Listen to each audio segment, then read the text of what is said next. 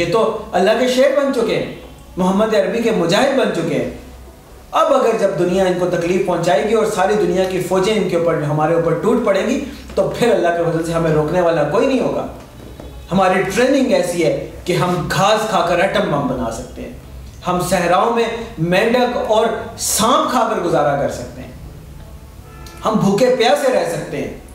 हम अल्लाहु अल्लाहु अल्लाहु।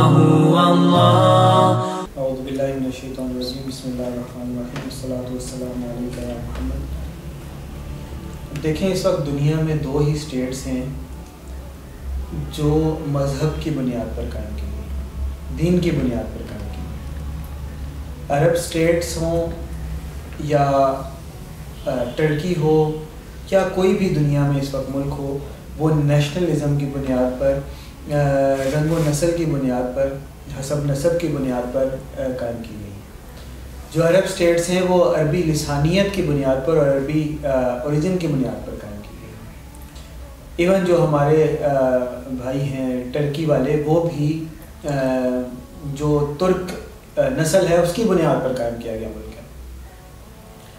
इस वक्त दुनिया में सिर्फ़ दो ही ऐसी स्टेट्स हैं जो मज़हब को लेकर बनाई गई एक पाकिस्तान और दूसरा इसराइल। और ये वो दो ममालिक हैं जो एक दूसरे के आइडियोलॉजिकल इक्वल हैं। और इन दोनों की टक्कर है। अगर बनी इसराइल और यहूद की रिप्रेजेंटेशन इसराइल करता है, नाम नहाद इसराइल तो इस्लाम की रिप्रेजेंटेशन अल्हम्दुलिल्लाह पाकिस्तान करता है।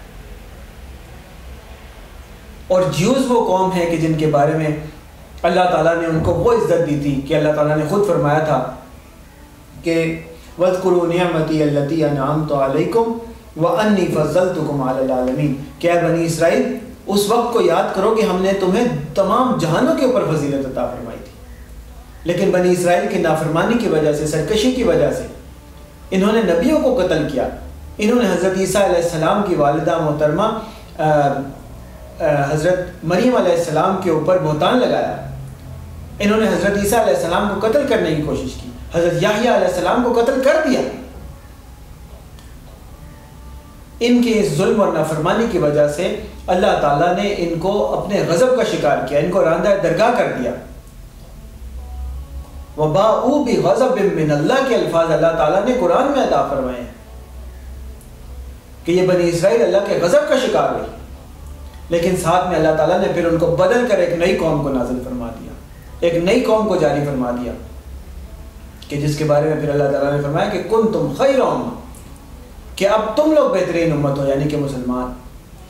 तो एक वो कौम है जो अल्लाह के गज़ब का शिकार हुई और दूसरी वो कौम है जो अल्लाह ताला की तरफ़ से खैर उम्मत है इस वक्त, सबसे बेहतर उम्मत है। आखिरी वक्त में इन्हीं दोनों के दरमियान एक अजीम मार्का होना है। इसराइल दुनिया की तमाम ताकतों के पीछे होगा। चाहे वो यहूद हो चाहे वो अमेरिका हो, चाहे वो नेटो हो, चाहे वो हिंदुस्तान के हिंदू हो। इन सब के पीछे इसराइल की साजिश होगी और इस तरफ़ मुसलमान होंगे और इनका वो टाकरा होगा कि फिर दुनिया वो देखेगी जिसको दुनिया तहजीबों की जंग कहती है, जिनको आर्मगेडोन या हरमजदून कहती है। जिसका हज़ारों सालों से लोग इंतज़ार कर रहे हैं, जिसका हज़ारों सालों से बताया जा रहा है, डराया जा रहा है कि इतनी बड़ी जंग होने वाली है कि जिसके अंदर जो इंसानियत की जंग हो तहजीबों का टकराव होगा। और हदीस शरीफ में हमें मिलता है कि हर हज़ार में से नौ सौ निन्यानवे लोग इस जंग में मारे जाएँगे। और हदीस शरीफ में हमें यह मिलता है कि मुसलमानों के ऊपर जो है वो दुश्मन ऐसे टूट पड़ेगा कि जैसे लोग खाने के ऊपर टूटते हैं। और सत्तर झंडों तले जो है ना, अस्सी झंडों तले जो है वो दुश्मन मुसलमानों के ऊपर हमला आवर होगा और हर झंडे के नीचे बारह हज़ार के करीब फौज होगी। तो पाकिस्तान तो इंडिया तो हमारी मजबूरी है ये तो अल्लाह ताला ने एक ट्रेनिंग सेशन रखा हुआ है हमारे लिए। अगर हम, इंडिया हमें बार बार पोक ना करता अगर कश्मीर हमसे ना लिया जाता और इंडिया बार बार आ, हमें तकलीफ़ ना पहुंचाता तो हम तो शायद लेजी हो जाते। हमें क्या ज़रूरत थी इतनी बड़ी फौज रखने की? हमें क्या ज़रूरत थी आइटम बम बनाने की?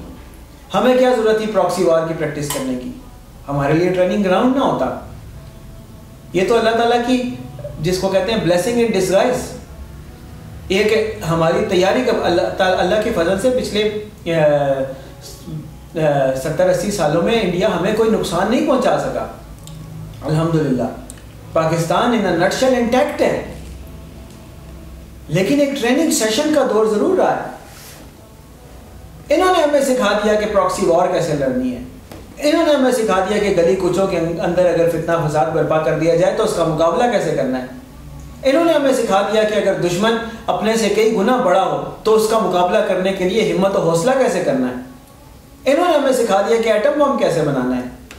ये तो इंडिया ने हमें सिखा दिया कि अलखालिद और जरार टैंक कैसे बनाने जे एफ़ सेवनटीन कैसे बनाने जे टेन सी कैसे हासिल करने अल्हम्दुलिल्लाह, अल्लाह के फजल से ये दुश्मन हमें तकलीफ़ पहुँचा पहुँचा के, पहुँचा पहुँचा के हमें नुकसान पहुँचाने की कोशिश कर, करते रहने की वजह से अल्लाह ताला ने हमारी ट्रेनिंग का इंतज़ाम कर दिया है।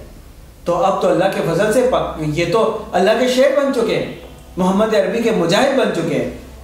अब अगर जब दुनिया इनको तकलीफ़ पहुंचाएगी और सारी दुनिया की फौजें इनके ऊपर, हमारे ऊपर टूट पड़ेंगी तो फिर अल्लाह के फजल से हमें रोकने वाला कोई नहीं होगा। हमारी ट्रेनिंग ऐसी है कि हम घास खाकर एटम बम बना सकते हैं। हम सहराओं में मेंढक और सांप खाकर गुजारा कर सकते हैं। हम भूखे प्यासे रह सकते हैं। हम जरी जवान बन चुके हैं। हम सहराओं के अंदर गुजारा कर सकते हैं। हम पहाड़ों के अंदर रह सकते हैं। हम बर्फ़ पर घसीट सकते हैं। अल्लाह का फजल है हमारे ऊपर। अल्लाह की रहमत है हमारे ऊपर। और अब जब अगर तकलीफ़ हमें पहुंचाई गई तो हमें रोकने वाला कोई नहीं होगा। पर हदीस शरीफ के अल्फाज में आते हैं कि फिर वो काले झंडे निकलेंगे कि हत्ता तन सबो भी लिया।